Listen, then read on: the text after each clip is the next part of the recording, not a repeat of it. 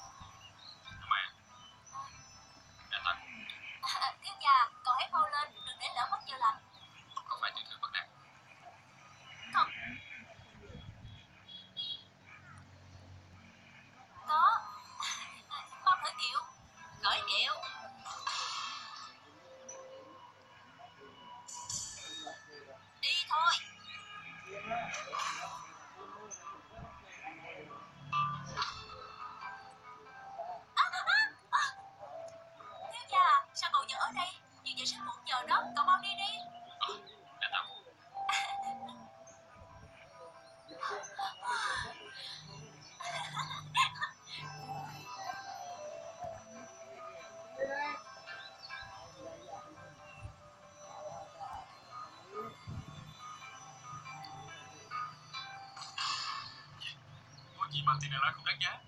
Vô gì vô cứ Hãy ta đến buôn Nguyễn kiếm mời Môn nợ này Sớm muộn gì ta cũng phải đòi lại.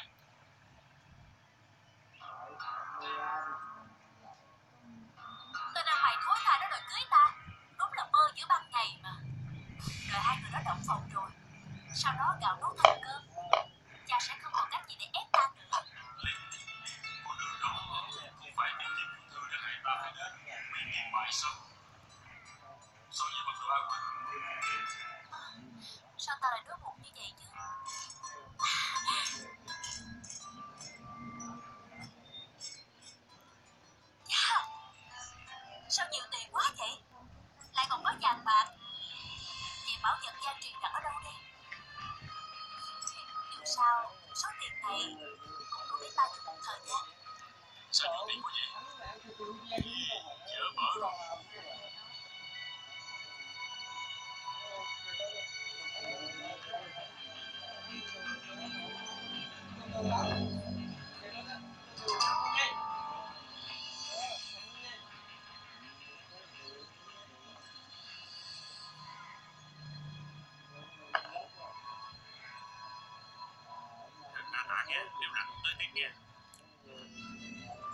sao khó ăn quá vậy? Rõ ràng là đồ ăn cho chó mà. Không mùi gì gì hết.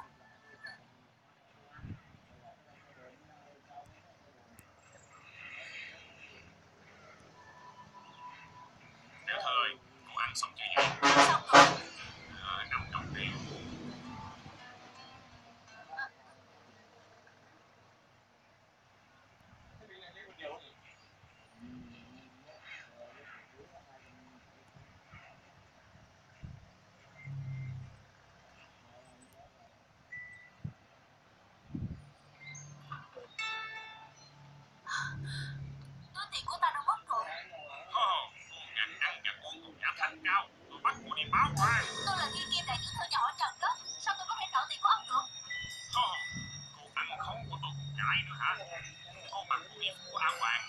Lại nói mình là thiên kim đại tiểu thư. Tất cả những người ở đây ai mà không biết hôm nay thiên kim tiểu thư của Trần Gia xuất giá hả? Nếu như hôm nay cô không trả chỗ tiền này cô đừng đi Không đi thì không đi Thiên kim tiểu thư không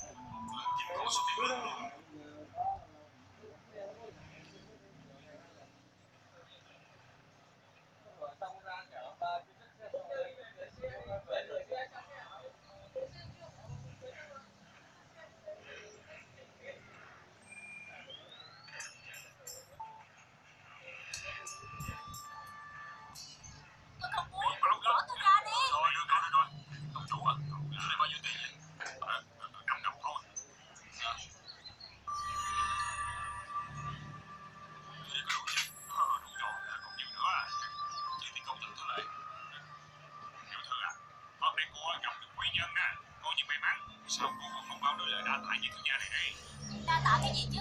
Tôi về nhà sẽ trả con đấy đó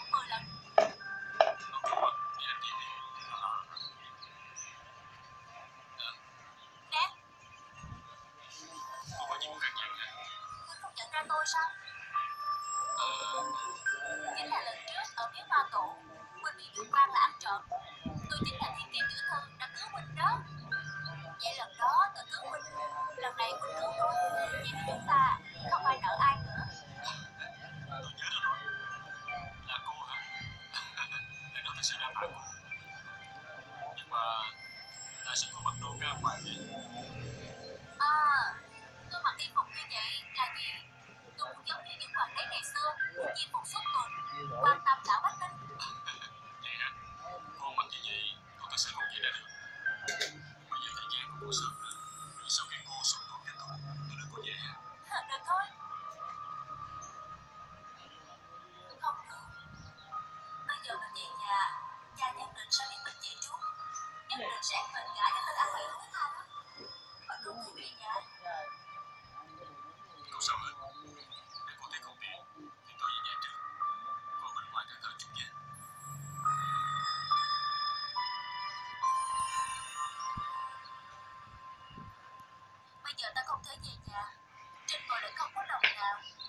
làm sao đây?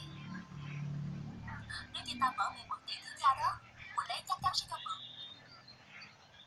Nhưng mà làm sao mở miệng được đây?